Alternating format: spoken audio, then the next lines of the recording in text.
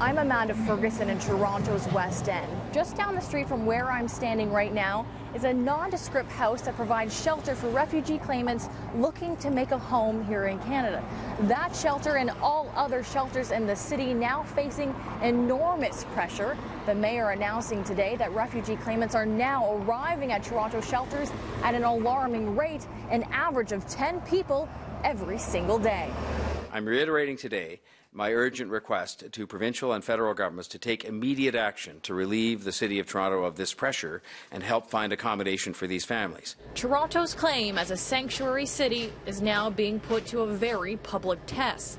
The city is now seeing unprecedented numbers of refugee claimants at its already stressed homeless shelters. 334 claimants showing up at Toronto shelters in the last three weeks alone. Refugees now making up 40% of all users. By November of this year, if the trend continues, the city projects that refugees will represent 53.6 percent of our shelter system, more than half. We cannot and should not be doing this alone. Toronto is not alone in calling for aid. Just last month, Quebec did the same. The province seeing more than 7,000 asylum seekers crossing its border since January, three times more than the year before. In both Montreal and Toronto, the majority of refugee claimants are Nigerian by the way of the United States, migrants arriving in Canada who have recently been issued U.S. travel visas. Not even on this list yet. CityNews witnessed refugees' desire to enter Canada firsthand here at this Buffalo shelter, specially designed to house those looking to make a life north of the border.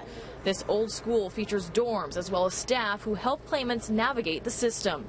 By international law, we have an obligation to protect those who are whose lives are in danger, and so we have to find a, a, you know a place. We have to accommodate. Dr. Anna Banerji created a health clinic for immigrant and refugee children. She says there are multiple factors pushing families to Toronto. There's uh, female genital cuttings.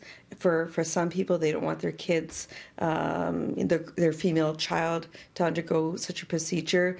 There's Boko Haram, there's, there's violence, there's poverty. Canada is now working with its American counterparts to try to stop Nigerian travelers to the United States from using their U.S. visas as a ticket to Canada. But for now, Toronto's mayor is asking for help. The city estimates the cost to house and support the claimants will cost more than $64 million. It is an issue in the sense that we have an overall responsibility uh, to shelter people who are in need of shelter, but that we're uh, trying to get some help from the other governments. The mayor saying today at the current rate of arrivals, the city may need to open an emergency reception center to accommodate all those families within seven days.